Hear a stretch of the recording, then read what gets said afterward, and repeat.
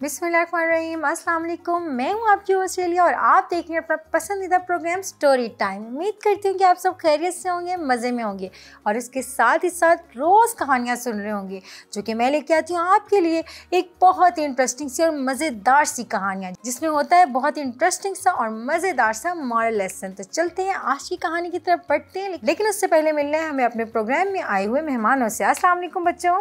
वालेकुम अस्सलाम। कैसी हैं आप? ठीक है? क्या नाम है आपका? सकीना। सकीना। सकीना कौन सी क्लास में है? फोर में। फोर क्लास में है। सकीना कैसा जा रहा है स्कूल अच्छा। तो आप हमारी कहानियाँ रोज़ सुनते? हैं कैसा लगता है आपको हमारा प्रोग्राम अच्छा लगता है। अच्छा लगता है? फेवरेट स्टोरी कौन सी है सकीना आपकी जो आपको बहुत अच्छी लगती हो? कोई भी याद है एक कहानी? नहीं याद है। और आपका क्या नाम है? खतीजा। खतीजा। खतीजा कौन सी क्लास में है? के जी के जी में फिर तो खतीजा को बहुत सारी पोइम्स आती होंगी। पोइम्स आती हैं? नहीं आती है तो फिर हमें सुनाएँगी क्या आज आप? नात नाच सुनाएँगी और स्कीन आप क्या सुनाएँगी? कुछ भी नहीं सुनाएँगी भाई आज ऐसा तो नहीं चलेगा आपको पता है कुछ ना कुछ तो सुनाना पड़ेगा। क्या सुनाएँगी? कोई भी एक चीज़ आपको पता है आप कितनी सारी फ्रेंड्स आपको देखेंगी टीवी पे फिर उन्हें भी तो पता चलना चाहिए कि स्कीना को तो बहुत कुछ आता है। नहीं कुछ सुनाना? अरे भाई सोचें तब तक मैं इसकी से ना खतीजा से नाच सुनती हूँ ठीक है? खतीजा आप नाच सुनाए। हसबी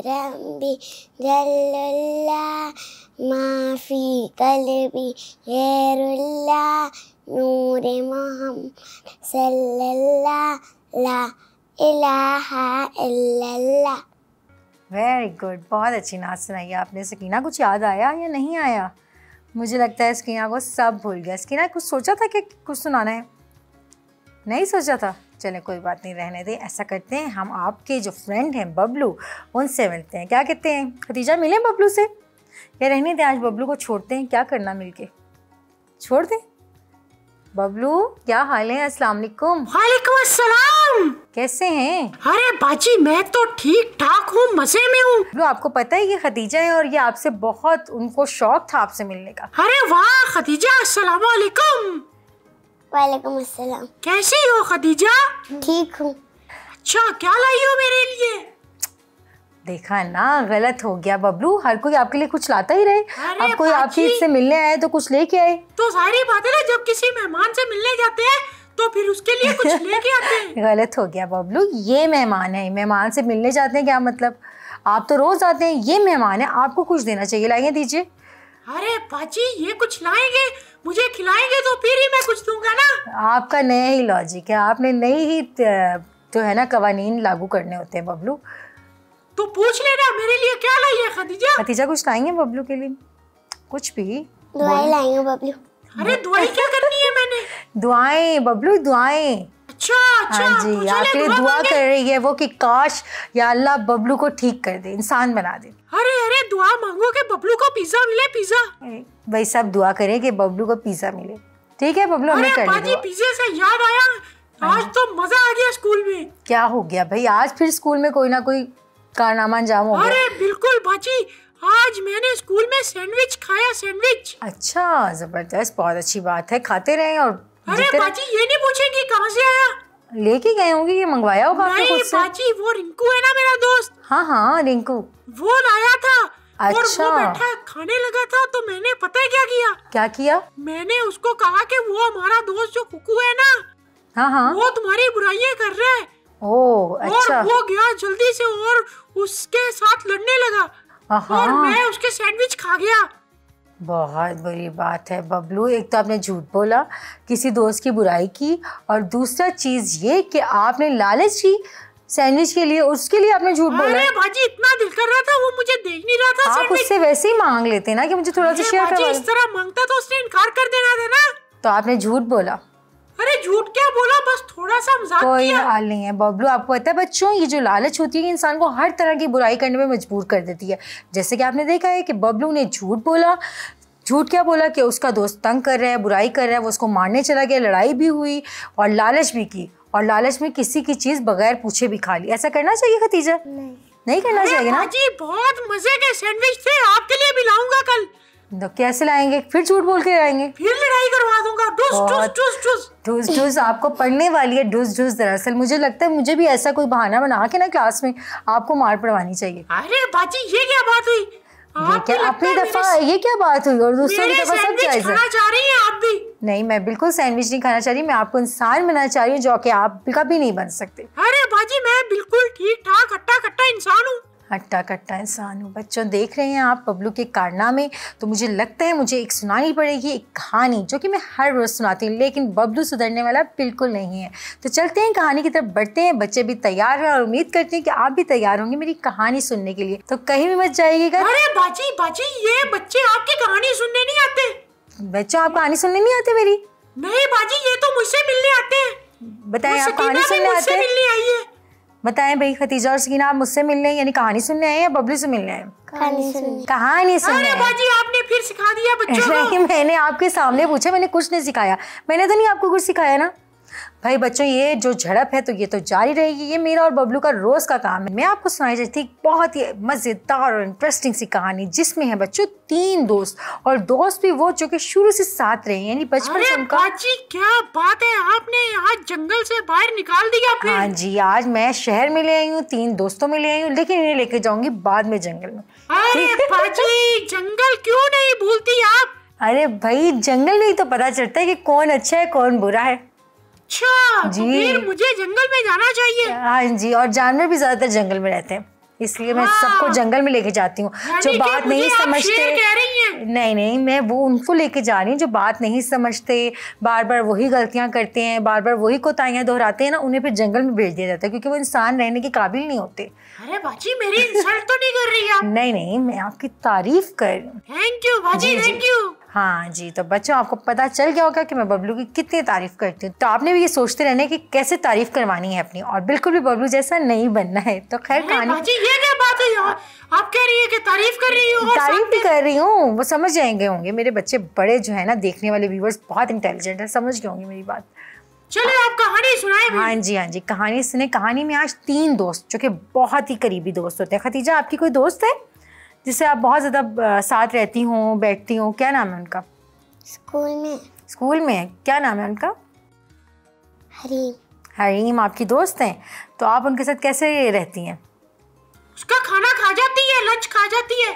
क्या करती हैं आप? उनको लंच तो नहीं खा जाती उनका? जैसे बबलू अपने दोस्तों का लंच खा जाता है झूठ बोल देता है उनको मार पड़वा देता है उन्हें टेस्ट कहानी बताता है कि सारे काम करता है। आप तो नहीं ऐसा करती? और सकीना आप अपने फ्रेंड्स के साथ तो नहीं करती ऐसे? साथ देती हैं उनका? स्कीना तो चीटिंग करवाती होगी। स्कीना आप चीटिंग तो नहीं करवाती? चीटिंग भी नहीं करवानी। ये दोस्ती नहीं है। अगर आप अपने दोस्तों को बच्चों चीटिंग करवाएँगे तो ये दोस्ती बिल्कुल नहीं नहीं है। बाजी दोस्ती है ना? चीटिंग हेल्प कर रहे हैं। नहीं जी हर तरह के गलत मॉरल लेसन समझना आपका काम है ख़त्म है आप पे। चीटिंग बच्चों करवाना बिल्कुल भी हेल्प नहीं है। चीटिंग करवाने से वो हमेशा पीछे रह जाएगा और उसको आदत होगी शॉर्टकट्स की। कभी भी मेहनत नहीं करेगा, कभी भी जो है अपनी पढ़ाई पे तवज्जो नहीं देगा बच्चों। तो ये कभी भी नहीं करना है। ठीक है सकीना और खतीजा ऐसा बिल्कुल नहीं करना। खैर, हम इन दोस्तों की बात करते हैं जो कि हमारी कहानी में। ये तीन दोस्त थे और बहुत गहरी दोस्ती थी। बचपन से एक दूसरे के साथ रहे थे, कभी भी एक दूसरे से अलग नहीं हुए थे। साथ ही पढ़ाई की थी, साथ ही जॉब स्टार्ट की, साथ ही इन्होंने मिलकर एक बहुत बड़ा सा कारोबार स्टार्ट किया और हर खुशी गमी में एक साथ होते थे। हमेशा जब भी कहीं इंजॉय करना होता था, इकट्ठे जाते थे, इकट्ठे ईद मनाते थे और हर तरह के त्यौहार इकट्ठे मनाते थे। और ये बच्चों बहुत ही गहरे दोस्त थे। खैर, दोस्ती का पता तो तब चलेगा जब कि मुसीबत का वक्त आता है। खैर, उस वक्त जो दोस्त काम आए, वही असल दोस्त होता है। हुआ ये बच्चों की इनका बहुत बड़ा बिज़नेस था। ये इकट्ठे कारोबार करते थे और एक साथ दिन रात मेहनत करते थे।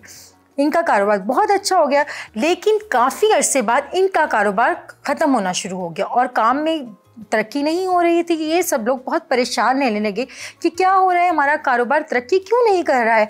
फिर इन दोस्तों ने मिलकर एक मंसूबा बनाया। इन्होंने कहा क्यों ना हम अपने कारोबार ने सुबह कैसे बना लिया एक? सूबा नहीं मंसूबा प्लान। अब मैंने प्लान कहना था तो इसने कहता कौन सा एरोप्लेन बना लिया?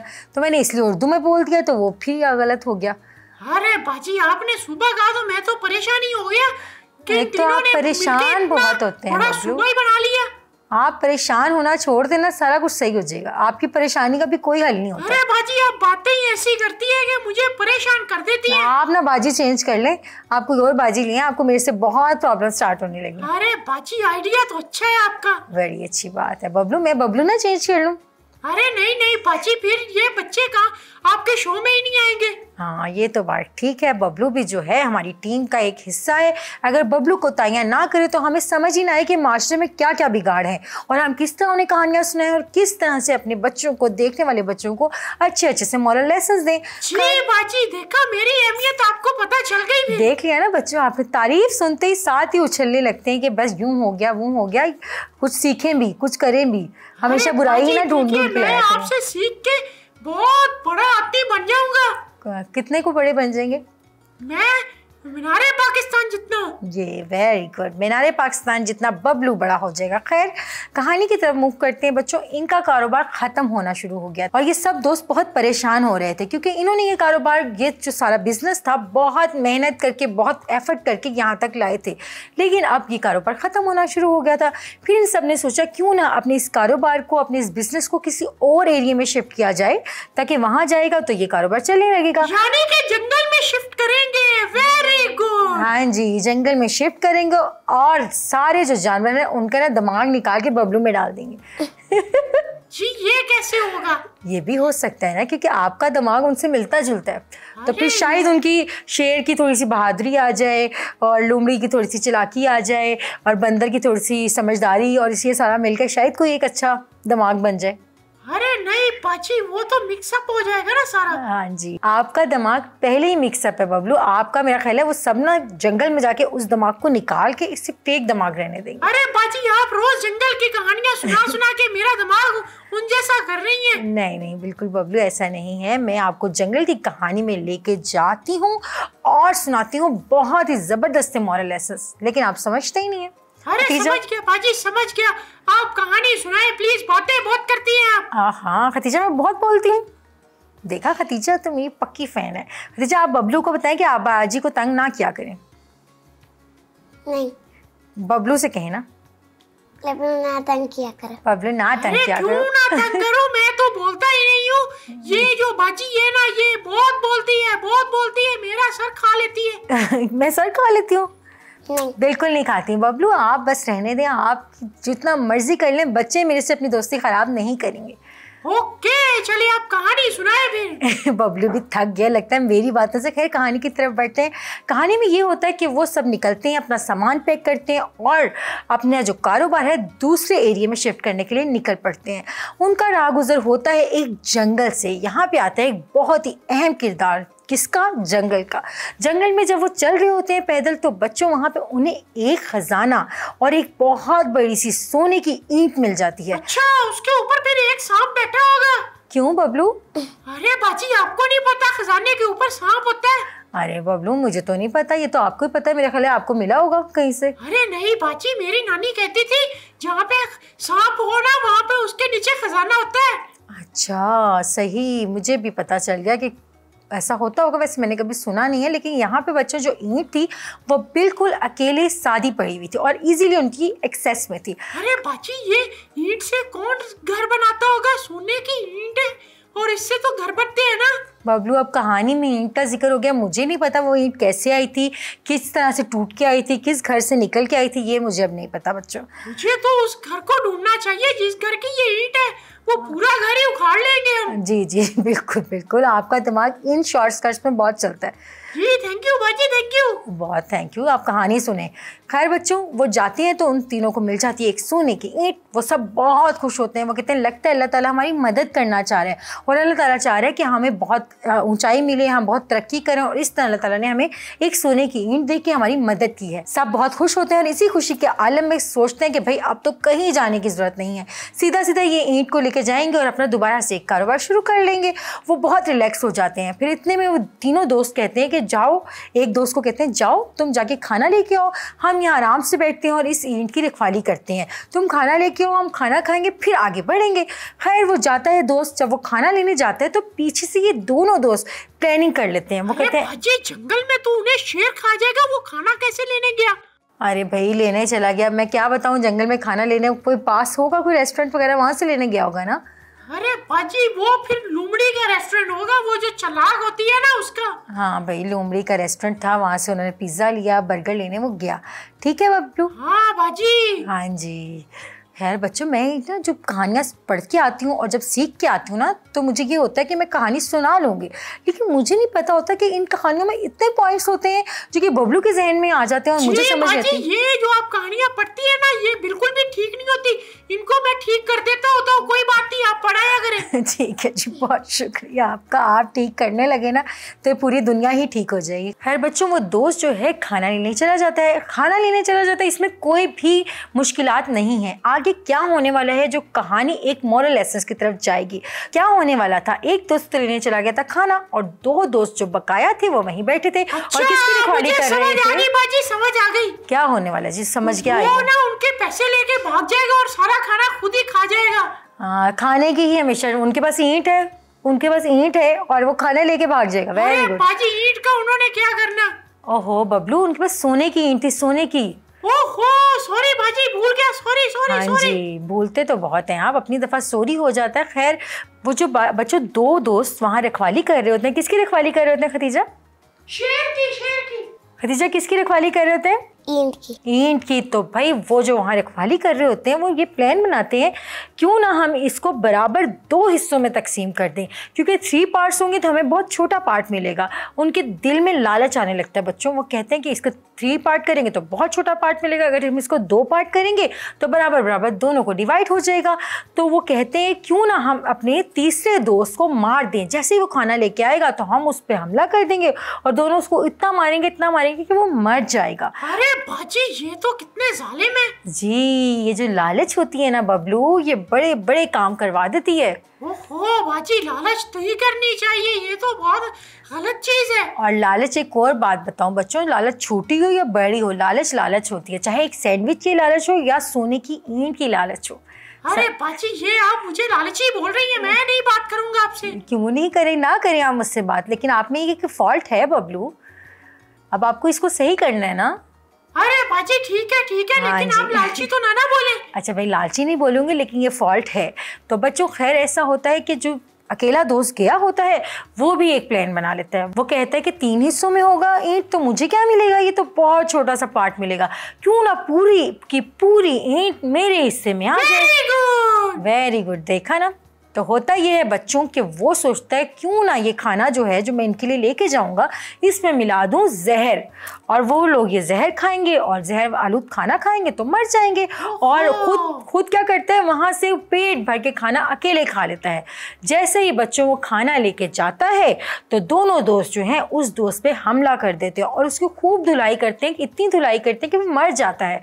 और फिर कहते हैं वाह अब हमें पूरी जो ईंट है बराबर दो हिस्सों में मिलेगी और दोनों अच्छा अच्छा अपना कारोबार सेट कर लेंगे। खूब फ्यूचर प्लानिंग करते हैं खूब बातें करते हैं खूब खुश होते हैं। तो वो मज़े से खाना निकालते हैं और भाई कहते हैं कि क्यों ना आप पेट भरा जाए पेट भर के हम लोग फिर अपनी ईंट उठाएँगे और घर चले जाएँगे। खूब फ्यूचर प्लानिंग्स कर लेते हैं मज़े में होते हैं इंजॉय कर रहे होते हैं।